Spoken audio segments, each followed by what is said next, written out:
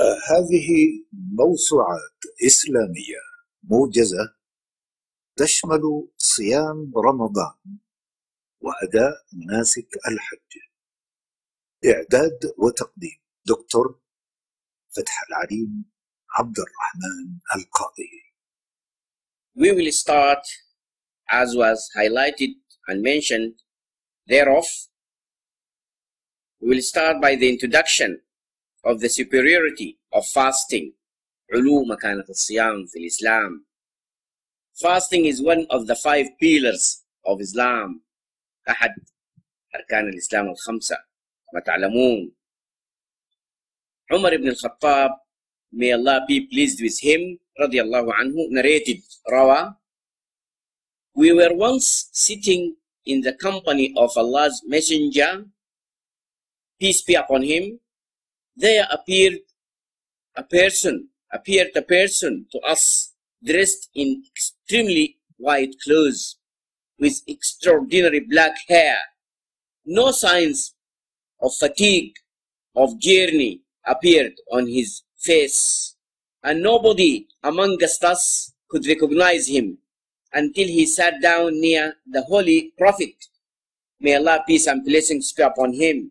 Then he then leaned his leaned his knees before the prophet's knees and placed both of his palms over his thighs and said, O Muhammad, inform me about Islam. He replied, Islam is that you testify that there is no God but Allah and Muhammad is the messenger of Allah. That you perform prayer, pay zakat, pour due, fast in Ramadan, and perform Hajj, pilgrimage of the house of Allah, provided you have recourses and resources of making journey to it. لمن استطاع إليه سبيلا. He replied, You have spoken the truth. We were surprised to see that. He asked him and cooperated him. يسأله ويصدقه. Reported by Imam Muslim. In another hadith, Abdullah ibn Umar ibn al-Khattab, may Allah be pleased with him, with them, radiallahu anhuma, narrated that the Prophet, peace be upon him, said, Islam is raised on five pillars, dunya Islamu ala khamsin, testifying that there is no God but Allah, that Muhammad is his bondsman and messenger, Muhammad Abdul wa Rasuluh, and the establishment of prayer, salah, and the payment of zakah, poor due, and the pilgrimage to the house of Allah, Kaaba, and fasting during Ramadan, reported by Al-Bukhari and Imam Muslim, radiallahu anhuma. Let us highlight the reason for fasting.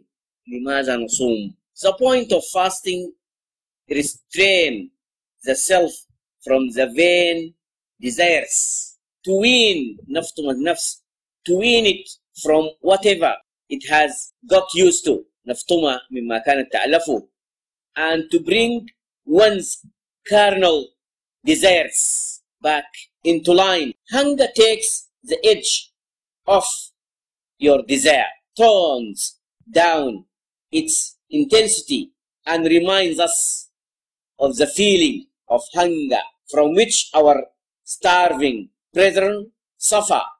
Likewise, it constricts the pathways through which Satan, la'anahullah, follows through the body, decreasing his strength of a man and helping him to overcome Satan's temptations. Rather, shaitan, la'anahullah. Fasting is also a secret between man and his Lord that no one knows but him, subhanahu wa ta'ala. Yet, before all of this, fasting is an act of worship, al-ibadah. The fasting person leaves his food, his drinks, his food, his drink, and his physical desires for the sake of Allah. There is real fasting, which is why the Prophet may Allah peace and blessings be upon him, said, fasting is a shield or a screen or a shelter. So the person observing fasting should avoid sexual relation with his wife and should not behave foolishly and impudently. And if someone fights with him or abuses him, he should he should tell him twice, I am fasting, reported by Al-Bukhari radiallahu anhu. The excellence of fasting. The Prophet, peace be upon him, said, whoever observes fasts during the month of Ramadan out of sincere faith and hoping to attain Allah's rewards, then all his past sins will be forgiven. Reported by Al-Bukhari and Imam Muslim. The Prophet, peace be upon him, also said, By him in whose hands may Saul, والذي نفسي بيده, is the smell coming out from the mouth of a fasting person is better in the sight of Allah than the smell of musk. لخلوف فم الصائم أطيب من ريح المسك عند الله يوم القيامة. Allah says about the fasting person, he has left his food, his drink, his desires for my sake. The fast is for me, so I will reward the fasting person, one IGB, for it, and the reward of good deeds is multiplied ten times, reported by Al-Bukhari, rahimahullah. The Messenger of Allah, peace be upon him, also said, in paradise, in Jannah, there is a gate which is called Rayyan, Babu Yusamma Rayyan, through which only the observers of fast would enter يدخل به الصائمون فقط on the day of resurrection يوم البحث والنشور يوم القيامة none else would enter along with them it would be proclaimed where are the observers of fast that they should be ad admitted into it and when the last of them would enter, it would be closed and no one would enter that, or would enter after that. Reported by Al-Bukhari, rahimahullah. The definition of fasting here. تعريف الصيام. Fasting, siyam, literally, لغة, means abstention, والامتناع. Fasting means abstention from eating, drinking, having sexual intercourse, etc from dawn till sunset It is this meaning that is understood from Allah's words on the tongue of Mary, peace be upon her, as mentioned in the Holy Quran. She said, أعوذ بالله من الشيطان الرجيم إني نذرت للرحمن صوما فلن أكلم اليوم إنسيا Surah Maryam, verse 26. Verily, translated, verily, I have vowed to fast. I have vowed a fast unto the most beneficent Allah. So I shall not speak to anyone, to any human being this day. Surah Maryam, as I, as I told you, verse number 26. And now let us highlight the following also.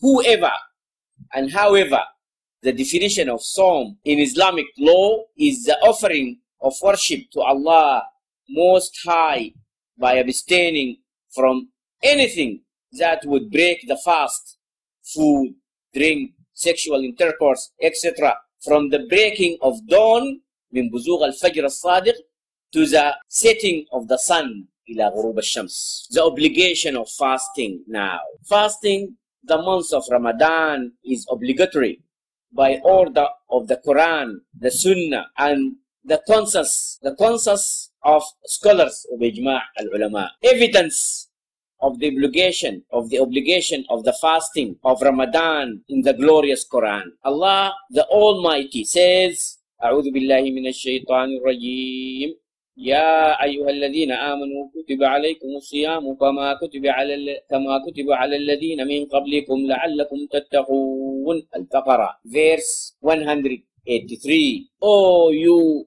who believe observing a psalm the fasting is prescribed for you Surah Al-Baqarah verse number 183 Allah also says regarding the obligation of the fasting of Ramadan أعوذ بالله من الشيطان الرجيم فمن شهد منكم الشهر فليصمه ومن كان مريضا أو على سفر فعدة من أيام أخر البقرة أيضا 185 So whoever of you sights the crescent on the first night of the month of Ramadan, for example, is present at his home, is present at his home, he must observe Sawm fast that month. Surah Al-Baqarah 185 evidence of the of the obligation of the obligation of the fasting of Ramadan in the Sunnah.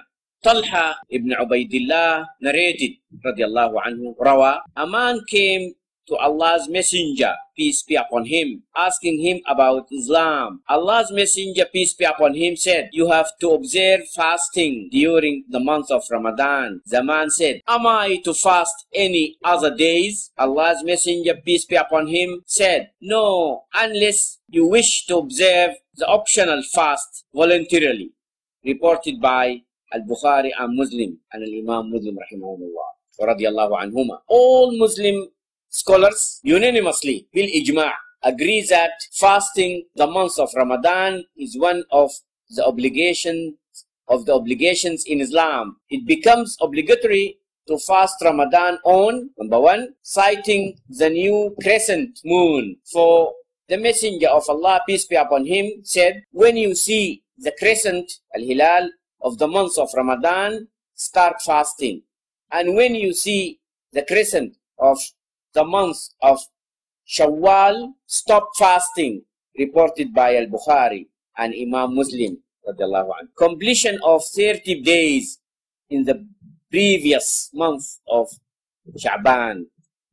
This is because the month of the Muslim calendar never exceeds 30 days. شهور القمرية لا تزيد عن 30 يوما. The Prophet, may Allah peace and blessings be upon him, said, and if the crescent is overcast, زغم عليكم, and you cannot see it, then regard the month of Sha'ban as of 30 days, reported by Al-Bukhari and Imam Muslim. It is not correct, according to the Islamic law, to depend on astronomical calculations حسابات الفلكية لا نعتمد عليه كثيرا concerning the phases of the moon فيما يخص منازل القمر because the prophet may Allah peace and blessings be upon him did not instruct us to do so had that been the best way he would have said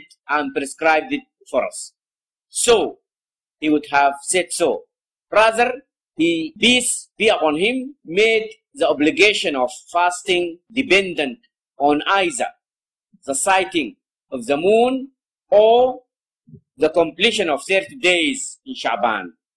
Thus, it is not permissible to make the obligation of fasting dependent on anything else. صوموا لرؤيته وافطروا لرؤيته وإن غم عليكم غم عليكم فاكملوا عدة شعبان ثلاثين يوما أو كما قال عليه الصلاة والسلام. The Prophet, peace be upon him, said, we are an unlettered people who can neither write nor count. The month is thus, and thus folding his thumb, folding his thumb, when he said, it is the third time, reported by Al-Bukhari. Rahimahullah.